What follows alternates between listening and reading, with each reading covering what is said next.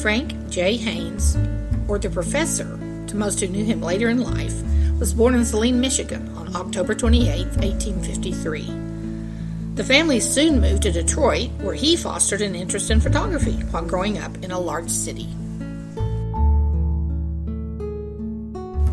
Haynes moved to Moorhead, Minnesota in 1876, where he then opened his first photography studio.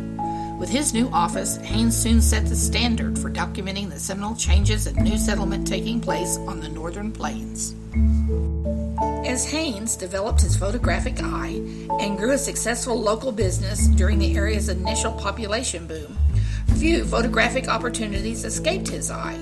He therefore began capturing historic images from across the northern plains, including still life pictures from a variety of agricultural, social, business, and cultural aspects. As a result, Haynes' work soon elevated many professional standards of 19th century photography. The following year, Haynes traveled 400 miles by stagecoach, photographing Dakota Territory, including work in Jamestown, Bismarck, and Fargo, North Dakota. Inspired by Fargo's rapid growth and growing reputation as the North's gateway to the West, Haynes captured a variety of detailed scenes throughout the town's settlement period during the 1870s and 1880s. He married Lillian V. Snyder on January the 15th, 1878. Within the same year, Haynes made a lengthy journey beyond the Plains territories to the West Coast. Haynes corresponded on a regular basis with his wife, describing his travels in detail, while further sharpening his vision for a pictorial account of early Western settlement. Although many historical accounts credit Haynes as the first photographer in the Fargo Moorhead area, Jacob Skurseth holds the distinction as the first professional photographer with a studio inside Fargo city limits.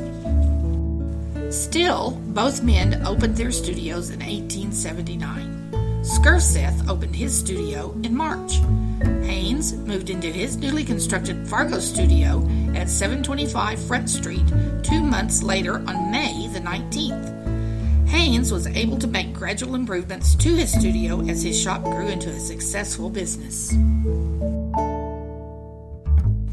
At the same time, to avoid the limitations of conventional business construction of lumber and brick, Haynes converted a palace train car into a traveling photography studio and thereby raised his photographic standards to new heights. With an avant garde and novel character, the exterior of his traveling car displayed lettered advertisements elaborately painted on the side. Haynes also outfitted the interior of the Pullman car with creative flair complete with a fully functional darkroom and plush waiting area with a stove, carpeting, furniture, and upscale lighting fixtures. With his stylish mobile studio, Haynes photographed towns from Puget Sound to Chicago and much of the North Dakota Territory in between. The family even used the Haynes car for vacation travel between Fargo and Detroit Lakes, Minnesota. In 1881, Haynes made his first trip to Yellowstone Park, where he made a collection of stereoscopic views. Because he enjoyed working in Yellowstone so much, Haynes eventually opened a park concession studio to sell pictures to tourists. Haynes was also commissioned to take photographs of several historic occasions. First, when U.S. President Chester A. Arthur toured Yellowstone Park in 1883, Haynes was asked to take the pictures. When railroad workers drove the Golden Spike that linked the East and West Northern Pacific Railroads, also in 1883, officials sought Haynes to take the photographs. He was then hired to become the official photographer of the Northern Pacific Railroad, even documenting the adventures of hunting parties which were sponsored by the railroad company. In 1889, Haynes moved his studio to St. Paul, Minnesota. He also continued his exploratory trips to Yellowstone and helped develop the park's large tourist business at the turn of the century. He passed away March 10, 1921, in St. Paul, but his early interpretations and historic visual legacy of Fargo and the Northern Plains live on through his photographic works. While many of Haynes' photographs have been widely published in articles, journals, and books throughout the 19th and 20th century, his personal papers, an extensive negative and print collection, are preserved at the Montana Historical Society.